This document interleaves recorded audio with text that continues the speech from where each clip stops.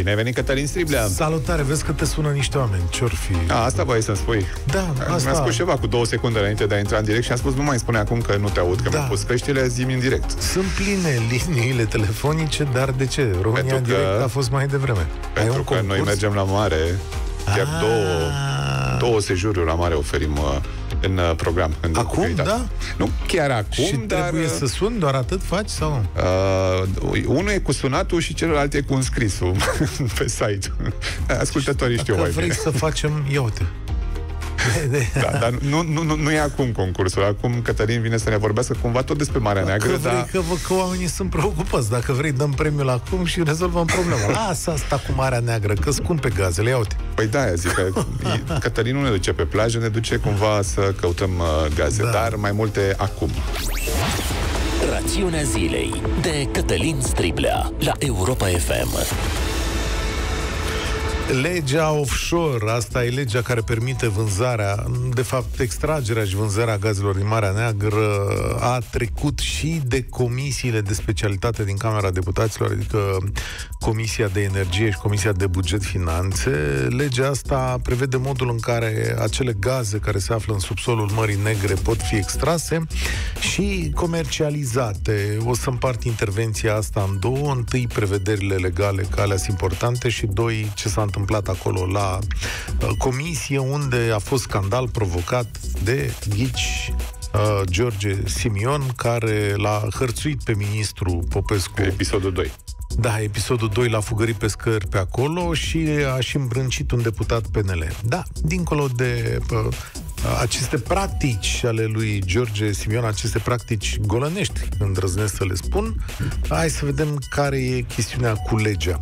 Așadar, legea asta este foarte pe repede înainte pentru că e o problemă majoră cu gazele pe toată piața europeană și atunci ne trebuia o lege cu sau cu ajutorul căreia să scoatem gaze o companie, avem acum o companie românească, să scoată gaze din, uh, din zona Mării Negre, da? Dar chestia asta nu se întâmplă mâine, nu? Da, e un proces complicat, Adică dar ne-am grăbit cu legea, sunt- dar exploatările încep peste... a, câteva luni ar, s-ar zice. Deci e tehnologie... A, luni ar fi bine, să nu fie da, ani. Da.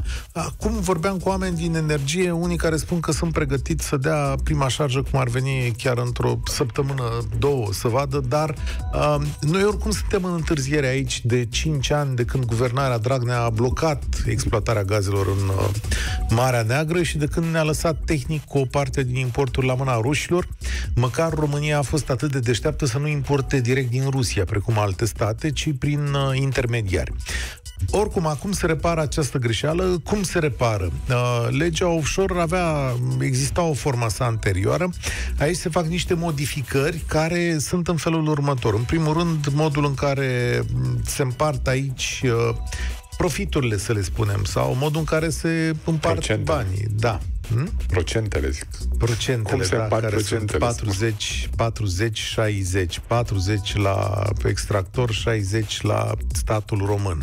Aha. Cam așa, cam așa ar fi, cam ăsta e primul uh, procent, dar atenție, uh, la uh, producător mai pot să crească, pentru că apar niște deduceri fiscale și el și deduceri legate de investiții, adică pe măsură ce investești, ție ți se scade din impozitul respectiv, deci câștigul ar putea să fie mult mai mare.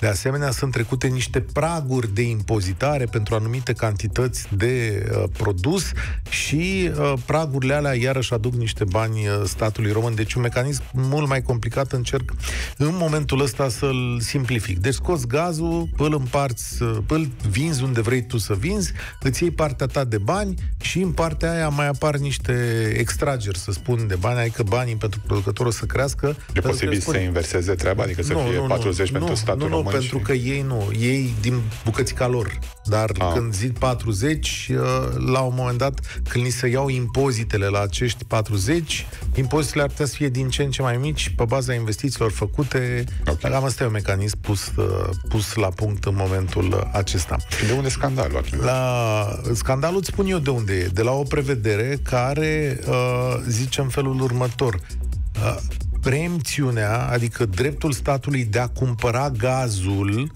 este pus doar în situații de urgență, de, de, de distorsionare a pieței și mecanismul creat este că se face extragerea și el poate fi vândut pe piața europeană, ca și asta e precizarea, pe piața europeană, așa cum producătorul dorește. Deci, producătorul, extractorul, care e o companie la care statul român deține acțiuni în mod evident, scoate gazul și îl vinde pe piața liberă. Deci o să avem gaz ieftin, sau dacă așteptăm A... să avem gaz ceva mai ieftin, să nu mai așteptăm decât în cazul Aici de criză. și o precizare Atenție, știți că gazul are un preț care e calculat pe întreaga piață europeană. Aici e agățat de mai multe țări gazul ăsta, tocmai ca să suferim sau să câștigăm împreună, așa a gândit Europa.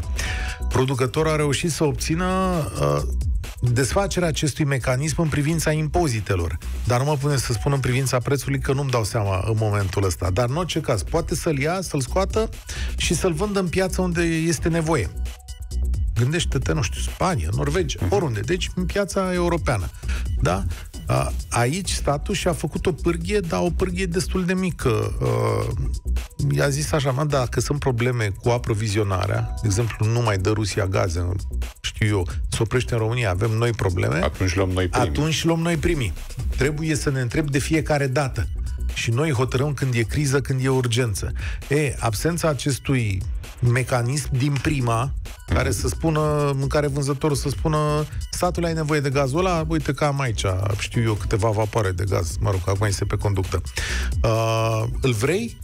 Uh, nu există, decât în anumite situații de criză, da? Care, din câte mi s-a m-am uitat eu acolo, sunt destul de laxe. Ia, termenul de distorsionare, nu știu ce înseamnă. Nu știu momentul în care guvernul o să vină să zică și acum hai că întâi pe la mine și pe aia vedem care, care e treaba la voi. Sigur că un guvern responsabil într-o iarnă complicată, nu, o să spună întâi la mine, ce vă rămâne, dați voi afară pe, afară pe piață și vi iau și la un preț bun. Dar să aibă dreptul să facă treaba asta. Aici, de aici e uh, esența acestui scandal, da? Adică chestiunea asta de regulamentul speculează George Simion, comportamentul său fiind, îl știți, clasic, luat ministrul de gât, fugărit, vorbit, scandal, îmbrâncit, deputat PNL, asta e nouă, dar aici când nu ai capacitatea de a spune argumente, uh, dai cu ce faci tu acolo, nu știu, la ce te pricep mai bine. Asta e o discuție foarte complicată pe care mai specialiști, care niște specialiști buni, buni o pot, uh, uh, o pot purta. Acum, știi cum e. Trebuie căutat echilibru în toate chestiunile astea. Mie unuia îmi pare o lege destul de echilibrată în care statul și-a lăsat, are niște câștiguri și și-a lăsat o pârghie o lege perfectă în favoarea contribuabilului român ar fost ca dreptul ăla de preemțiune să fie acolo de la bun început în situația asta. Probabil că sunt mecanisme europene care ne împiedică, gândesc eu cu capul meu acum, dar a, într-o situație de asta puteai să-ți asigură protecție foarte mare și producătorul, producătorul ți-ar fi întrebat, am extras, știu eu, 3000 de tone, e la voi sau e pe piața liberă? Vedem, ne orientăm după asta. Da, e de urmărit oricum uh, subiectul și uh, hai cu exploatările. Dacă zici că se poate începe în câteva da, luni. se poate începe. Din păcate am ratat o investiție tehnologică de la compania Exxon acum 5-6 ani gândită special pentru Marea Neagră, care e o, uh, tehno- care e o mare greu de exploatat. Gazul vine murdar la suprafață. Exxon inventase și avea banii pentru o tehnologie ca să scoată gaz curat noi nu putem face asta, nu suntem Exxon, România nu are capacitatea asta și nici firmele europene. Vom scoate un gaz murdar care vine pe din două cu piatră, știu eu, tot felul de lucruri, apă și așa mai departe, care e curățat pe parcurs în niște rezervoare și, mă rog, Asta e un lucru pe care l-am pierdut, adică puteam să vindem mai bine și mai de calitate chestia asta. Dar ar fi singurul lucru pe care Da, am da, pierdut da, noi. da, da. Cătăline, îți mulțumesc foarte mult pentru comentarii. Pe aceeași frecvență cu tine Europa FM